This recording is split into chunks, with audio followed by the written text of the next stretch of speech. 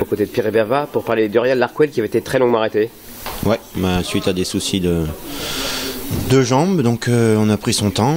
Euh, voilà, il vient de faire deux courses de rentrée euh, à Reims et à, Amiens. La dernière fois Amiens en sixième, il finissait d'une belle façon. Donc, donc voilà, l'engagement est, bon.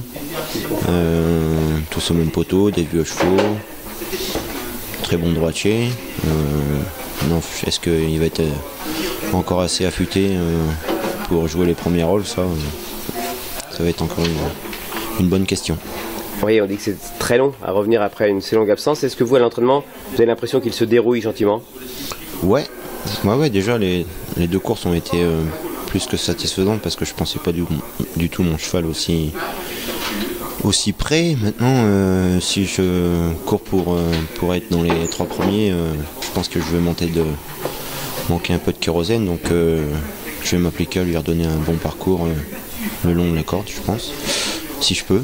Et euh, après, on verra comment ça, comment ça finit. Mais mon cheval est en forme, il, il est content d'aller aux courses.